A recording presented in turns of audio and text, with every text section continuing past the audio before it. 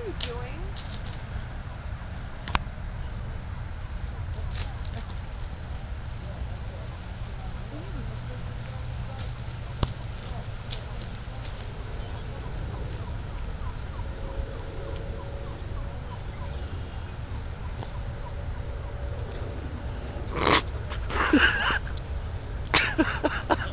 You got a handle on yourself?